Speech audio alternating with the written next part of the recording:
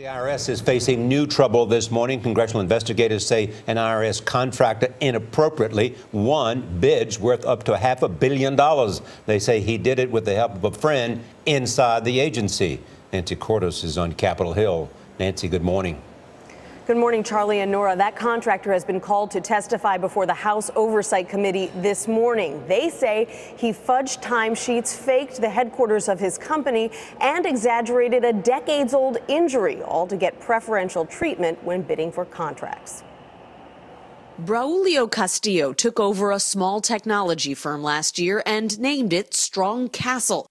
Within months, the company's annual revenues skyrocketed from about $250,000 a year to as much as half a billion, thanks in part to a well placed friend who happened to be an IRS deputy director involved in procurement. I find every part of this contract in how they the cozy relationship caused this to be handled, to be put together, and then to be issued to be reprehensible. Republican Darrell Issa chairs the House Oversight Committee, which investigated Castillo's company and found that the IRS official named Greg Roseman oversaw each and every contract awarded to Strong Castle by the IRS in 2012 and helped the company gain acquisition information faster and earlier than its competitors. But that wasn't Castillo's only advantage.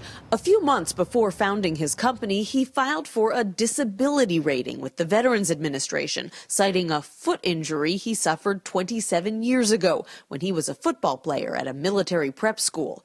The injury did not prevent him from going on to become quarterback at the University of San Diego, but it did enable him to register Strong Castle as a service disabled veteran owned small business eligible for preferential treatment in bidding competitions. This is the kind of abuse that I think the American people want us to stop and stop now. Castillo denied our request for an interview, but in a statement he said, We have never received any improper preferential treatment and have competed fairly for every contract that we have received. This investigation, of course, comes at a time when the IRS is already under fire for targeting conservative groups and for overspending at government conferences. Norah and Charlie. Nancy Cordes, thank you.